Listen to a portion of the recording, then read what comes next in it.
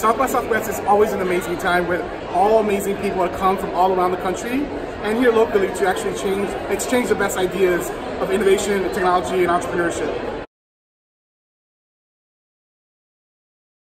I have seen a handful of uh, panels, but the one that's really stuck out today was seeing the work that the Texas State students have done uh, in their pitch competitions here, and just having the community know that Texas State, while in San Marcos, is still part of Austin, and it's a really strong community here, and I'm glad to support them.